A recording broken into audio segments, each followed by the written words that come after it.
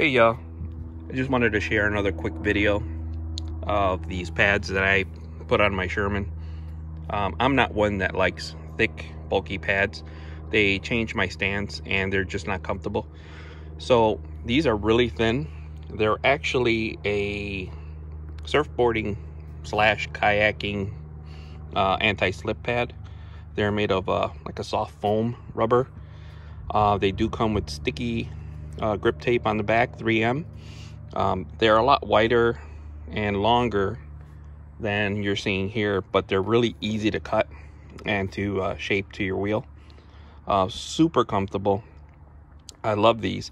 Um, I took the extra pieces and um, I, I kind of made a little bump here uh, for braking.